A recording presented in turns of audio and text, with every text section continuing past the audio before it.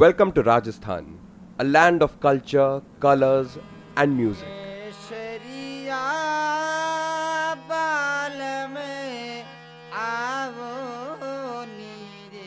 The journey from Jodhpur city to the India Pakistan border in Barmer takes about 6 hours by road.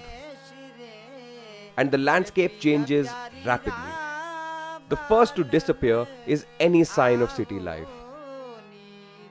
And then comes the vegetation. It grows sparse as one travels along this highway and eventually disappears. In a few hours, the golden sands of Barmer district take over.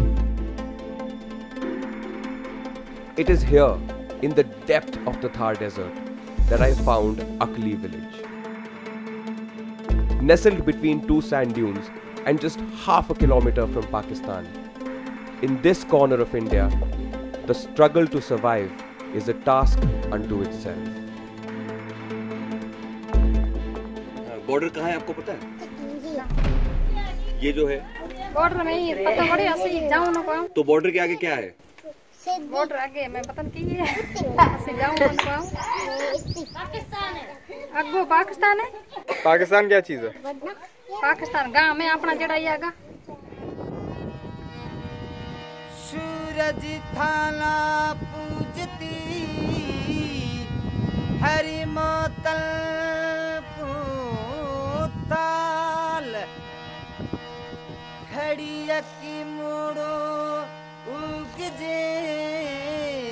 मारो शैली चढ़िया घी ढुले तो कोई ये सोच नहीं, लेकिन पानी ढुले तो उनका उबर खोच होए।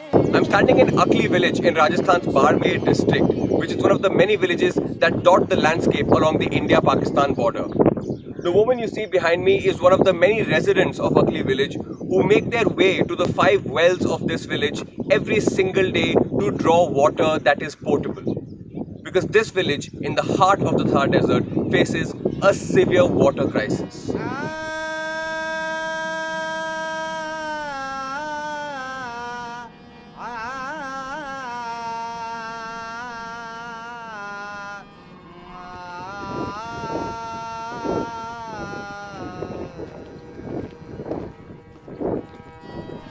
Imdad Khan is a local. He has lived near the border his entire life and knows this area like the back of his hand.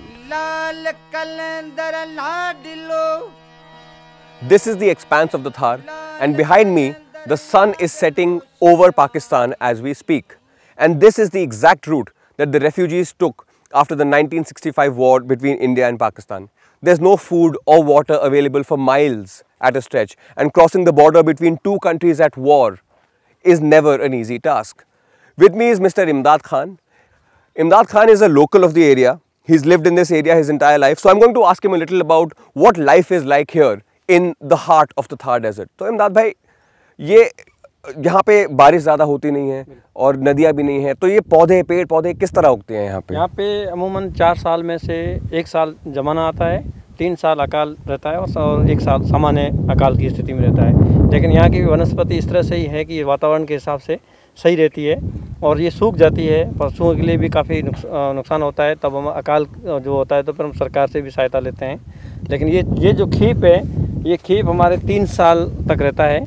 ये हमारे कच्चे जो घर झोंपड़े बनाने के काम में आता है और ऊँट जो हमारे हैं वो इसको खाते हैं। बाकी कोई भी जानवर इसको नहीं खाता है। पानी की यहाँ बहुत हालत ख़राब है। यहाँ पे भी हमारे अकली गाँव में भी गवर्नमेंट की तरफ़ से एक ओपन वेल है, जो साढ़े तीन सौ फीट नीचे पानी है, लेकिन एकदम खारा है, जिसमें पक्षी भी पानी नहीं पी सकता, जानवर भी नहीं पी सकता। हम लोग उसमें बर्तन धोने में या खाने पीने वाले कपड़े धोने में उसमें काम ले सकते हैं, लेकिन पीने के काम में नहीं ले रहे हैं। यहाँ पर परंपरागत कुएँ यहाँ है जो 50 फीट पे है वहाँ उसमें पा, मीठा पानी है वो लोग डेली पानी उसको पीने के काम में वो लेते हैं। तो मुश्किल ज़िंदगी हो गई मुश्किल ज़िंदगी तो काफ़ी है उनका रहन सहन खान पीन हर चीज़ तरह का भी मुसीबत है। और आने जाने के जो यातायात के साधन हैं वो भी बहुत मुश्किल से हैं एक ही बस चलता है उससे सुबह आते हैं और शाम को वापस पहुँचते तो चलिए फिर अकली गाँव की तरफ़। आप ये जो घर देख रहे हैं, सामने ये झोंपा दिख रहा है। ये मिट्टी, गोबर और पानी से बना हुआ महिलाओं ने खुद ने इसकी ईट निकाल के बनाया है, तैयार किया है। इसमें खाना पकाने का सारा काम इसी में रहता है। बच्चों को सोने तक की व्यवस्था इसी में रहती है। और इसके ऊपर जो घास डाली, ये इसको इसको खीप बोलते हैं। हाँ खीप बोलते हैं। और ये खीप जो है, ये इसको जब बारिश होती है तो पानी इसमें नहीं टपकता है। और गर्मी के दिनों में ये ठंडा रहता है। ताकि गर्मी भी महसूस नहीं होती है ज़्यादा हो लाल मुरे पत रखियो बैलारा Everything in Akli is built keeping in mind the dry and harsh landscape of the Thar Desert. So, in contrast to the 500 year old wells that we just saw, the village of Akli also has these new modern structures. So, what the government has done is that while there is no piped water supply to this corner of India, the government has provided funds for the setting up of these rainwater harvesting units which work during the monsoon. But what happens during the summer months? Let's find out from someone who's a local here. Now, Poon Ramji is uh, with us right now, who constructed this with his own hands and also supervised the construction of this rainwater harvesting unit and others like this in the village. तो पून राम जी आप ये बताओ कि यहाँ जब हम खड़े हैं ये क्या जगह है? ये क्या चीज़ है? अच्छा तो इसमें पानी जो आता है कहाँ से आता है? बारिश का पानी जैसे ही आता है। अच्छा। जो ये अपना पक्का बना हुआ है हम्म। पंद्रह बाई पंद्रह का इसमें पानी बारिश का ही आता है। अच्छा बारिश का पानी जब गिरता है गिरता है तब तो उसके अंदर जाता है। अच्छा। इसमें खाली दी हुआ है। तो कितना पानी इसमें स्टोर हो सकता है मैक्सिमम? स्टोर हो जाता है इसमें अपना दस टके आ जाता है। दस टंकी पानी इसमें भर जाता है अंदर। तो ये सिर्फ़ बारिश के मौसम में काम करता है? आप बस सिर्फ़ बारिश के मौसम में काम होता है। तो गर्मी का जब मौसम होता है या सर्दी में जब बारिश कम होती होगी? कम बारिश का जैसे अभी महीने में चलती है यही रहती है बाकी लोग। यहाँ कम है राजस्थान में पड़ती है। अच्छा। तो उस समय ये जो टंकी है सरकार खाली। ये खाली रहती खाली है। पूरी अच्छा। और आपने जो है इसको सुपरवाइज किया? आप इसके एक तरह से ठेकेदार रहे? ठेकेदार है अच्छा। और ये कब बनी थी ये टंकी? ये बनी अब दो साल हो गए हैं अपने बनी। तो एक तरफ़ गाँव में 500 साल पुराना कुआँ है और एक दो साल पुरानी टंकी। हम्म। तो गाँव किस पर ज़्यादा निर्भर रहता है? पर जैसे कुएँ हैं कुएँ कुएँ का दर से ज़्यादा ही रहते हैं गाँव। पानी का टैंक तो अभी बना है जैसे अभी बना भी रहे हैं। पहले तो सिर्फ़ अपने कुएँ का दर से तो ऐसे कितने रेन वाटर हार्वेस्टिंग के यूनिट होंगे में? जैसे टांके बने हुए कितने होंगे? जी। ये आठ टांके बने हुए हैं। आठ टंके पूरे गाँव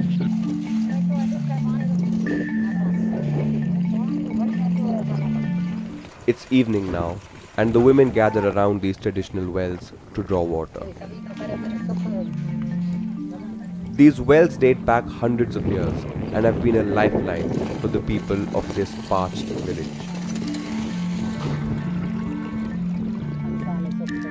Because 500 meters to my right, right there in that direction, is the India Pakistan border.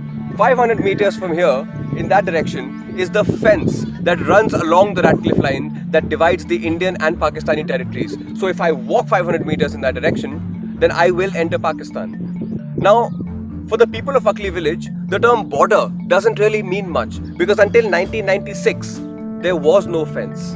And the people of this village often crossed over unknowingly into Pakistani territory. A place of worship called the Jata Mata temple, which the people of Akli village revere, happens to fall within Pakistani territory.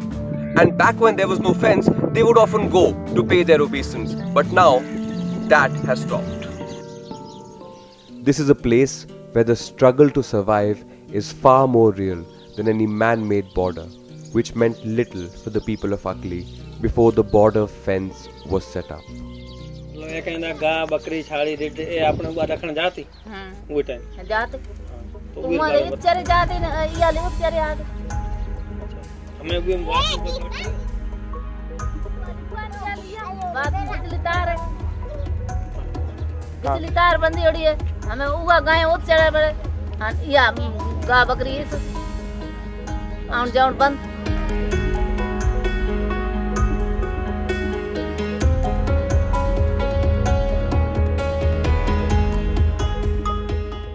Like, share, subscribe, and press the bell icon for notifications. This is India's Frontier Villages,